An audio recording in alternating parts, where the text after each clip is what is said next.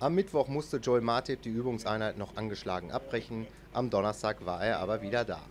Nach dem Mannschaftstraining sprach der Schalker Verteidiger über seine Fitness, ein kurioses Gerücht und die Rückkehr eines Hoffnungsträgers. Ach, leichte Probleme, aber alles im Grenzen. Ich konnte die ganze Trainingseinheit schon mitmachen und mit leichter Vorsicht ist das schon alles machbar. Die Transferperiode ist immer da für die wildesten Gerüchte. Äh, was sagt der FC Barcelona? Hat er schon bei Ihnen angerufen? Davon weiß ich nichts.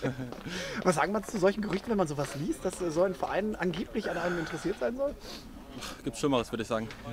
Die Küche, Küche brodelt. Äh, unter anderem fällt auch natürlich wieder der Name Julian Draxler. Äh, können Sie sich vorstellen, dass Julian Draxler den FC Schalke 04 verlässt? Schalke ohne Julian Draxler? Er ist ein super Spieler, da werden immer große Clubs äh, Interesse haben, aber äh, würde mich natürlich auch freuen, wenn ich noch lange mit ihm zusammenspielen kann.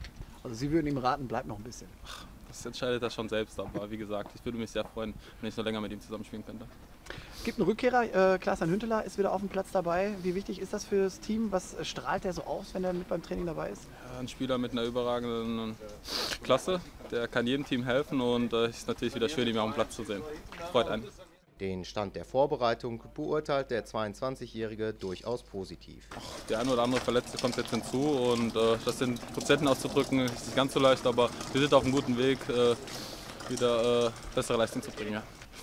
Wie gesagt, wir hatten jetzt schon eine Trainingseinheit hinter uns und da merkt man, dass ein bisschen was zusammenwachsen kann und äh, es braucht natürlich auch Zeit, aber äh, ja, genau.